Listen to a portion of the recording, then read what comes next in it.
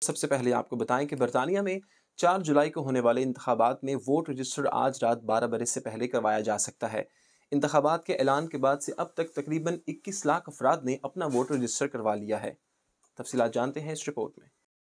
برطانیہ میں چار جولائی کو ہونے والے الیکشن کے لیے ووٹ رجسٹرڈ آج رات بارہ بجے سے پہلے کروایا جا سکتا ہے۔ انتخابات کے اعلان کے بعد سے اب تک تقریباً اکیس لاکھ افراد نے اپنا ووٹ رجسٹرڈ کروا دیا۔ میڈیا رپورٹ کے مطابق جمعرات کو تین لاکھ تیس ہزار چھ سو اکیس افراد نے ووٹ رجسٹریشن کے لیے رجوع کیا۔ دو ہزار بائیس میں تقریباً اسی لاکھ افراد درست طور پر رجسٹرڈ نہیں تھے۔ ووٹ رجسٹر کروانے کے عمل میں صرف پانچ منٹ لگتے ہیں۔ یاد رہے کہ برطانیہ میں الیکشن کی گہما گہمی بڑھ گئی ہے۔ لیبر پارٹی کنزرویٹو اور لبرل ڈیموکریٹس کے رہنماؤں کی انتخابی مہم زور و شور سے جاری ہے۔ London, Birmingham Bradford Manchester اور گلاسکو سمیت مختلف شہروں میں سیاسی رہنما متحرک ہیں۔ برمنگھم کے علاقے ہال گرین اینڈ موزلی میں لیبر پارٹی کی غزہ پالیسیوں سے نالا تین پاکستانی نژاد امیدوار آزاد حیثیت میں میدان میں اتر گئے۔ واضح رہے کہ گزشتہ ماہ کے آخر میں برطانوی وزیر اعظم رشی سناک نے پارلیمنٹ توڑنے کا اعلان کرتے ہوئے چار جولائی کو نئے انتخابات کا کا اعلان کیا تھا۔